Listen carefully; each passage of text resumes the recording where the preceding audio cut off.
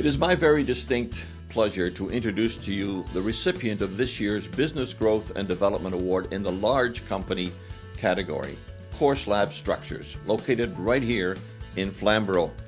But we do want to recognize that they are not only a local company, but they have locations across North America. These are big players, folks, and they call Flamborough home. My name is Doug Harman. I'm the uh, Vice President and General Manager of CoreSlab Structures here in Flamborough. CoreSlab started as a business of uh, a family of immigrants that came over and uh, found Hamilton as their home place. Uh, they started as a uh, initially an installation company working in the fields. They got into manufacturing precast concrete products in 1975. 2002 approximately moved to the Flamborough area. We found that uh, after many years of development, the plant became uh, too small. We needed to relocate. We needed to grow with the industry. Flamborough had property available. Uh, it had people that we wanted to bring from our own group that we brought from the Hamilton uh, community. In 2013, we opened the new operation, the new expansion process.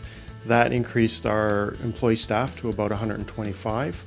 Uh, we're not done growing. We still have opportunity to grow with that, and hopefully up to 200 employees in the not too distant future. Uh, it also enabled us to use a lot of the local suppliers that we had. We are central to many of the different, uh, for example, aggregate sources that are available in Flamborough, and many others like that.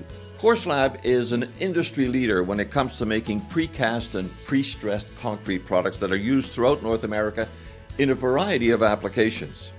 They really are innovators. They really do lead the way. Precast, pre-stressed concrete products uh, that we manufacture are products for the construction and building industry. Uh, they're components that are manufactured in a plant environment, hence the term precast. Uh, pre-stressed is the form of uh, or the method of how you design the reinforcement in concrete to give the products the strengths. These components are I use very commonly uh, the terminology of building buildings like Lego. So they're elements that are manufactured in that plant environment. They're shipped to the job site and assembled in the field to provide building structures. We've also uh, been a big part of the industrial innovation area on CoreSlab Drive.